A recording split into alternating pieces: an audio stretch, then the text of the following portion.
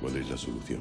Me gustaría hablar con algún La cineasta María Ripoll presenta su novena película Vivir dos veces, una historia protagonizada por Inma Cuesta, Óscar Martínez y Mafalda Carbonell, en la que combina humor y drama para reflejar la realidad de las personas con Alzheimer y de sus familias. El drama aparte de la gente que lo está viviendo, el drama es la gente que lo cuida. O sea, pero el drama no solo de, de, de enfermos de, de, pérdida de memoria, de demencia, sino de, de, la gente mayor. Muy injusto que después de toda una vida te sientes que eres un mueble de Ikea que, que, que molestas a, a, la familia. ¿no? En esta línea, Inma Cuesta ha señalado la importancia de dar visibilidad a los abuelos, al tiempo que ha resaltado el retrato familiar de la película. Pues me parece muy importante prestar atención a ello porque, bueno, por, por, la calidad de vida de las personas que necesitan todos esos cuidados, ¿no?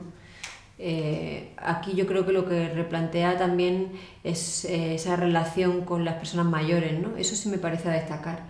Eh, se nos ha olvidado un poco la importancia con los abuelos, las relaciones con los abuelos, lo que podemos aprender de ellos. Por otra parte, a pesar de haber elegido la comedia para abordar esta situación, Ripoll ha aclarado que lo ha empleado con mucho respeto. El humor es, es sano, el humor es necesario, el humor es la vida misma, porque el dramedia no es más que el tono de la vida, porque a veces estás viviendo cosas muy trágicas y la situación es surrealista y te hace gracia, y al revés también.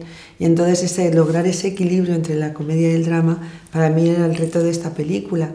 Vivir dos veces se estrena este viernes 6 de septiembre y muestra un guiño a la importancia de recordar antes de olvidar y un rayo de esperanza al señalar que siempre hay una segunda oportunidad para vivir de otra manera.